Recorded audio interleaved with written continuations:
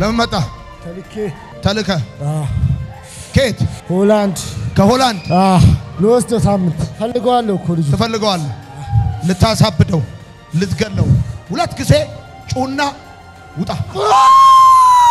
ሁለተኛ ቻው።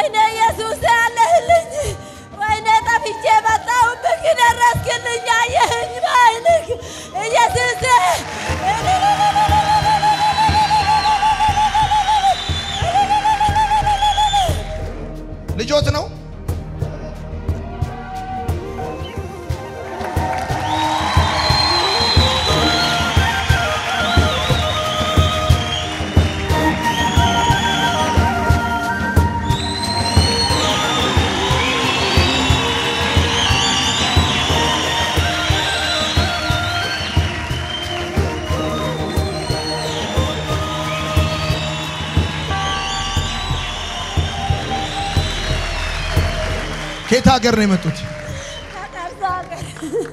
ከየት መጡ? ከቀርሳ ቀርሳ። ቀርሳ ሙነሳ እሺ ልጆት ያስቸግሮት ነበር? በጣም አስቸግሮኝ ነበር።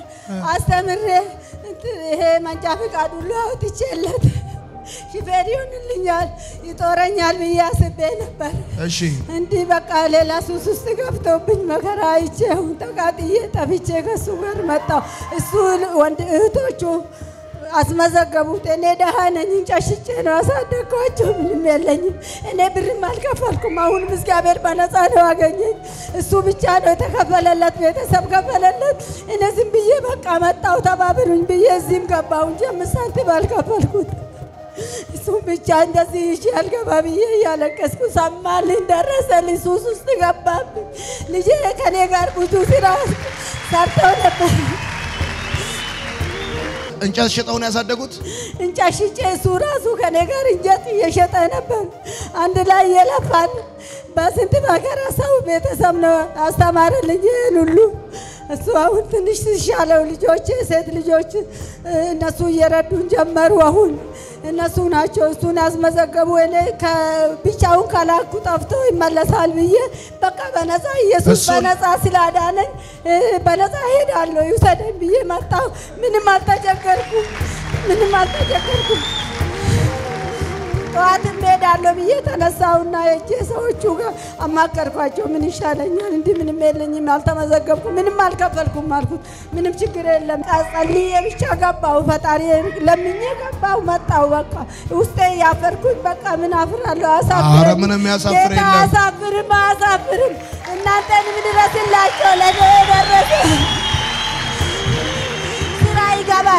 አንድ ሳምንት ይሰራል፣ ከዛ ይወጣል። አንድ ሳምንት ይሰራል፣ ከዛ ይወጣል። አስራ አምስት ቀን ይሰራል፣ ከዛ ይወጣል። ቤት አይቀመጥም። ከቤቴ ጠፍቶ ይጠፋብኛል። የት እንደሚሄድ አላውቅም። ወይኔ ዛሬ ገደሉት እላለሁ፣ ወይ ሰው ገሎ ይመጣብኛል። ብዙ ብዙ ስራት ነው የተመታሁኝ። ዛሬ ተገላገልኩኝ፣ ወለድኩኝ ዛሬ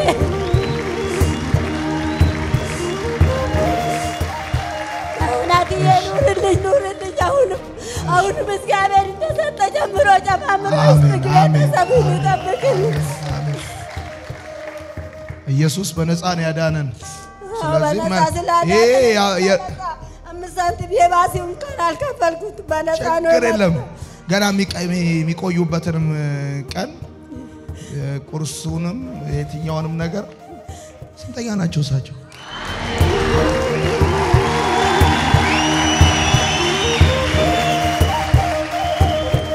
የኔ እናት አሁን አያለቅሱም። እሺ አላለቅስም። ሁለተኛ ደስተኛ ነኝ። ምን አለቅሳለሁ?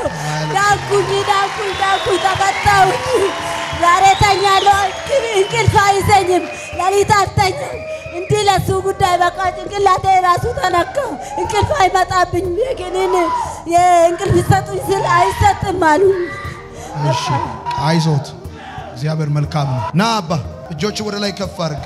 ጌታ ኢየሱስ ሆይ ጌታ ኢየሱስ ሆይ አመሰግንሃለሁ አመሰግንሃለሁ ስለፈታኸኝ፣ ስለፈታኸኝ ነፃ ስላወጣኸኝ። ነፃ ስላወጣ ከዚህ በኋላ ከዚህ በኋላ ለአንተ ብቻ ለአንተ ብቻ እገዛለሁ። እገዛለሁ። ለአንተ ብቻ ለአንተ ብቻ እሰግዳለሁ። እሰግዳለሁ። አመሰግናለሁ። አመሰግንሃለሁ። አሜን። አሜን። ኢሉሚናቶች የኔን ፎቶ ወስዶ ከዚህ በፊት ከነሱ ጋር እደዋወል ነበር፣ እናወራ ነበር። ከአሜሪካ ማለት ነው። መታወቂያ ሰርተው ልከውልኛል። ይህም መታወቂያ እነሱ ነው ሰርተው ላኩልኝ። አዲስ አበባ ቅርንጫፍ አላቸው። እነሱ ነው ልኮ ይህም ሰርተው በዶክሜንትም አለ በቴሌግራም የተላከልኝ ማለት ነው። በቃ አሁን አያለቅሱም። ብር ይዘዋል። አዎ፣ መሳፈር አለኝ። መሳፈሪያ ያሉት አዎ፣ እሺ። ደግሞ እኔ እዚህ አሁን እዚህ ሲቆዩ የሚጠቀሙበት ብር ሰጦታለሁ። እሺ። ይሄ የእርሶ ቤተሰብ ነው። ይሄ ጠቅላላ